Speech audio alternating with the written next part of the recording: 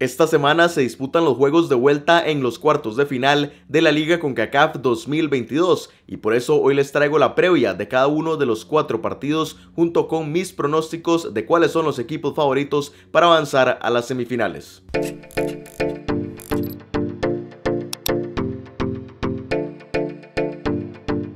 Y esta semana que no solamente hay fútbol internacional de clubes aquí en la CONCACAF, sino que regresa también allá en el viejo continente, partidos de Champions, Europa, Conference, aparte de estos de Liga CONCACAF, entonces se hace imposible seguirle la pista a todos los partidos que queremos. Y para eso es que funciona la app One Football, ahí pueden descargar esta aplicación y seguir sus partidos favoritos a los equipos en donde están los legionarios de la CONCACAF, seguir a los equipos de aquí, también los del viejo continente y les van a llegar actualizaciones al celular. Solamente van al link que les dejo en la primera línea de la descripción, descargan gratis One Football y como les digo, así pueden seguir todos estos partidos que se hace imposible verlos todos al mismo tiempo. Pero ahora sí hablemos de la previa de lo que va a suceder esta semana en la liga con CACAF, porque no solamente tendremos ya los equipos clasificados para las semifinales, sino también a los seis equipos que van a clasificar desde esta competición a la Liga Campeones de la CONCACAF 2020 2023 porque estarán los cuatro semifinalistas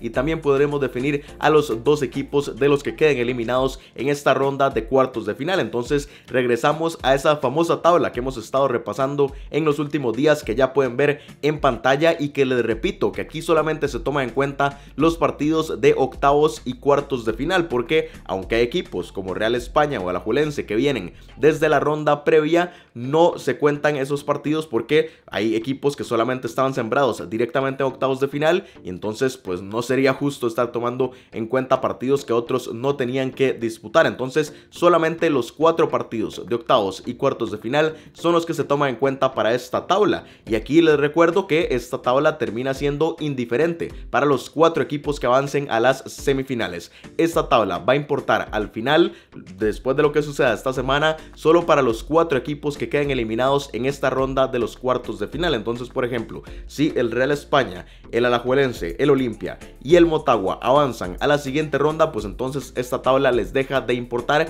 y empieza a importar para los otros cuatro equipos. Entonces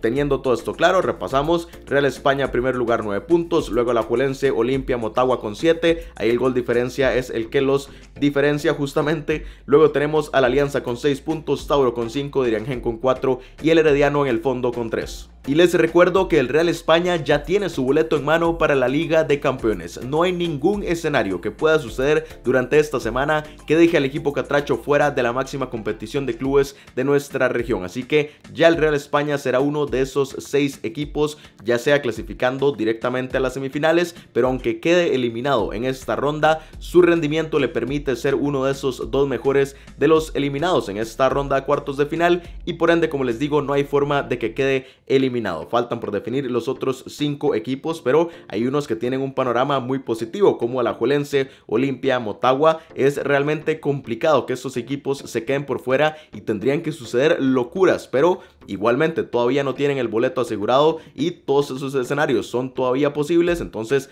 no se puede asegurar su clasificación, mientras que para equipos como Diriangen y Herediano que están en el fondo de la tabla y no solamente eso, sino que también tienen completamente en contra el marcador y parece complicado que puedan conseguir la clasificación en semifinales. Entonces, para estos equipos sí se pone un poco cuesta arriba, así que deberán necesariamente remontar sus series para poder entrar a la Liga de Campeones de la CONCACAF. Hay escenarios en donde el Herediano aún queda eliminado, pero podría clasificar como uno de los dos mejores eliminados, igualmente con el Diriangen, pero como les digo es muy complicado y para estos equipos lo mejor es buscar la clasificación a la siguiente ronda para quedarse con su boleto. Y vemos aquí el cuadro del torneo para recordar cómo serán los enfrentamientos en la siguiente ronda. El que avance entre el Tauro y el Motagua se va a enfrentar al ganador de la serie entre el Olimpia y el Diriangen, mientras que al otro lado el que avance entre Herediano y Real España se va a enfrentar al ganador de la serie entre Alajuelense y Alianza unas semifinales que se van a disputar en el próximo mes de octubre y que ya luego repasaremos con más detalle, pero era nada más para recordar cómo es que serán eventualmente esos partidos. Y ahora sí vamos con mis pronósticos. Arrancamos con el único partido que se va a disputar el día de mañana martes cuando el Alajuelense Tico reciba a la Alianza Salvadoreño en el estadio Alejandro Morera Soto de Alajuela aquí en Costa Rica. Serie que se encuentra con ventaja para el conjunto de Costa Rica 1 por 0 y que inicialmente le di 60% al Alajuelense, 40% al Alianza. Y ahora lo voy a aumentar un poco. 65% para el conjunto de Costa Rica, 35% para el equipo proveniente de El Salvador justamente por esa ventaja que consiguió el alajuelense en el partido de ida allá en el estadio Cuscatlán. No solamente se trae la victoria, la ventaja también en la serie, sino que consigue ese gol en condición de visitante que le da un poco más de seguridad. Y es que justamente lo estábamos comentando en la previa para la alianza, la esperanza era conseguir algo en casa allá en el Cuscatlán con su gente, con la ventaja que todo esto conllevaba y no logró ni siquiera sacar el empate. Terminan perdiendo y esto les pone completamente cuesta arriba la serie tendrán que venir a buscarla aquí a territorio costarricense y no sé si más bien soy muy generoso con el porcentaje por eso mismo. No tanto por lo que hace a la Juelense, sino por lo que deja de hacer el Alianza en la ida y que ahora tiene que corregirlo en estos 90 minutos restantes y que parece muy complicado que pueda hacerlo. Entonces, por eso es que más o menos mantengo el porcentaje, lo aumento por la ventaja, pero más o menos la serie se está desarrollando como lo estaba comentando en la previa. Continuamos con el único juego del miércoles cuando el Tauro panameño reciba al Motagua de Honduras en el estadio universitario de Penonomé. Serie que se encuentra 0 por 0, no hubo goles en la ida y que inicialmente le di 35% al Tauro, 65% al Motagua y lo tengo que nivelar. 45% para el conjunto local, 55% para el visitante en una serie que hay que analizar mucho lo que sucedió, no tanto el resultado, porque es cierto que el Tauro consigue un muy buen resultado allá en territorio hondureño, pero es que el Motagua fue muy superior, no pudo traducir toda esta superioridad en el marcador, esto es evidente, pero si la serie continúa con esta tendencia, debería seguir teniendo la ventaja el conjunto catracho. El tema está en que el Tauro consigue ese muy buen resultado, ahora me parece que tiene que cambiar completamente su forma de jugar, porque tiene que ir más al ataque, empezar a proponer y no dejar que el Motagua se le venga encima otros 90 minutos. Entonces me parece que este será un partido muy distinto, mucho más abierto y que va a propiciar que los dos equipos puedan terminar anotando. Así que veremos cuál es el que pueda aprovechar y traducir eso en el marcador. Sí, como les digo, pues el Motagua no consigue un buen resultado. Allá en la ida se le complica esta serie, mientras que para el Tauro fue una muy buena transacción y veremos si puede ahora en casa traducir todo esto y conseguir un pase a las semifinales. Y llegamos a los últimos dos partidos que serán este próximo jueves, el primero de ellos en el que el Herediano de Costa Rica reciba al Real España de Honduras en el Estadio Nacional de Costa Rica. Serie que se encuentra 1 por 3 con ventaja para el Real España y que inicialmente le di 45% al Herediano, 55% al conjunto Catracho y evidentemente tengo que aumentarlo. 30% para el conjunto local, 70% para el Real España. Esto evidentemente por lo que sucedió en la ida, pero no tanto por el marcador, sino por cómo se dio el partido, porque el Herediano en los tres juegos que ha disputado en esta liga con CACAF no ha podido traducir para nada lo bien que le ha estado yendo en la liga costarricense, en donde está aplastando a todos sus rivales, pero es que francamente, frente al Pacific y ahora frente al Real España, no ha podido verse ni siquiera cerca de bien. Entonces, el Herediano pues tiene muy cuesta arriba, no solamente el, el marcador, que tiene que anotar dos goles, evitar que el Real España también le anote, sino que de nuevo no está jugando bien y se ve muy complicado frente a un Real España que viene muy fuerte y que difícilmente le va a dar tantas ventajas como para que pueda remontar la serie. Sin embargo, el único o la única luz de esperanza que le estoy dando al Herediano y que esto también lo comenté después de los partidos en la ida es ese gol que consigue en condición de visitante y que como les estaba diciendo pues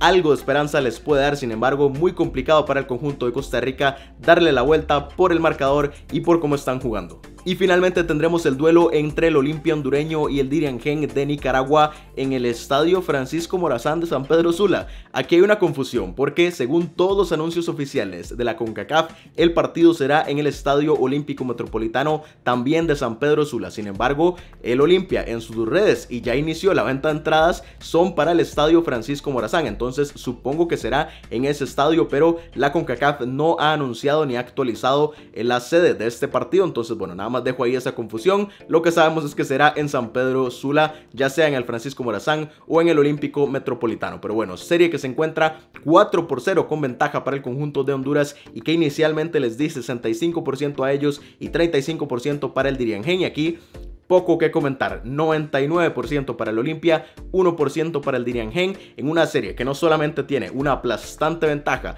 de el Olimpia, que además va a cerrar en casa y que consiguió esos cuatro goles en condición de visitante en Nicaragua. Entonces, si el Diriangén en su propia casa cayó goleado, pues qué vamos a comentar y qué podría llegar a ser ya ahora a territorio hondureño. Creo que nada más salvar el orgullo, ver si puede hacerle un buen partido al Olimpia de visita para lavarse un poco la cara de lo que sucedió la semana anterior pero es que es prácticamente un milagro lo que necesita el Diriangén, anotarle cuatro goles en territorio hondureño al Olimpia y además evitar que le anoten a ellos porque si no ya empiezan a ser cinco los que necesita o seis o siete y se le empieza a complicar muchísimo al cacique Diriangén su estancia en esta liga con CACAF, pero además también tiene que buscar los puntos para ver si puede, aún quedando eliminado, clasificar a la liga de campeones, entonces pues aún queda ese orgullo y esas ganas del Diriangén de hacer un buen partido allá en San Pedro Sula, entonces veremos qué sucede. Y como siempre quiero conocer sus opiniones aquí abajo en los comentarios de lo que puede suceder en estos partidos de vuelta, de cuáles son los equipos favoritos para avanzar a la siguiente ronda y de cuáles serán los resultados. Entonces voy a estar leyendo todo lo que dejen aquí abajo. Recuerden suscribirse al canal para seguir muy de cerca lo que sucede en esta liga con CACAF 2022 y lo que va a suceder luego ya en las semifinales y en el cierre de esta edición del torneo. Si les gustó este video por favor dejen un like, me ayuda muchísimo para seguir cubriendo todos estos torneos regionales de la CONCACAF. Muchísimas gracias por verlo y nos vemos en la próxima.